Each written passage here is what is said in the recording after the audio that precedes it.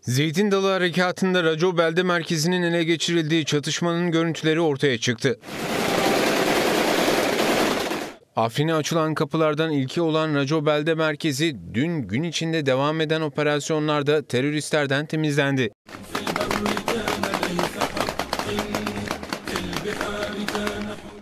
Bölgede yaşanan yoğun çatışmaların sıcak görüntüleri de ortaya çıktı.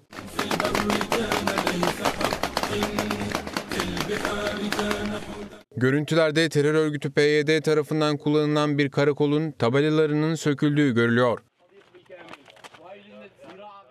Hamza Tugayları özel güçleri Rajo'yu temizlediklerini ifade ederek tüm şehri kontrol altına aldıklarını dile getirdi. Operasyonda Türkiye sınırındaki Şeyh Hadid'in belde merkezi ve Afrin'e bağlı Mistaken köyü teröristlerden temizlendi. Afrin kırsalındaki Şeyhadit beldesi, Raco ve Bülbül'den sonra teröristlerden temizlenen üçüncü belde oldu.